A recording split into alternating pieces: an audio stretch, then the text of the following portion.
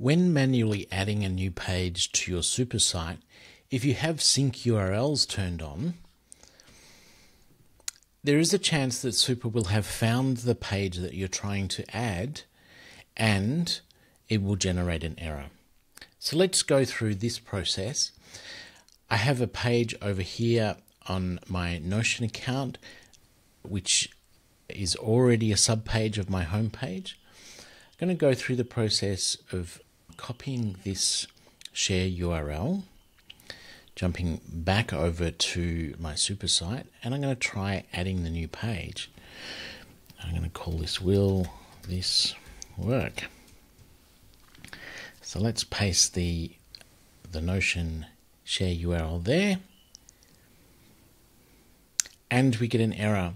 Now the error is because the subpage is already added, but I can't see it in the list.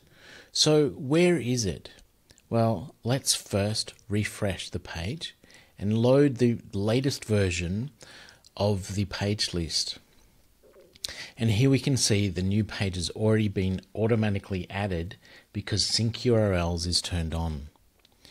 So if you're adding a page and you get an error, chances are the page has already been added.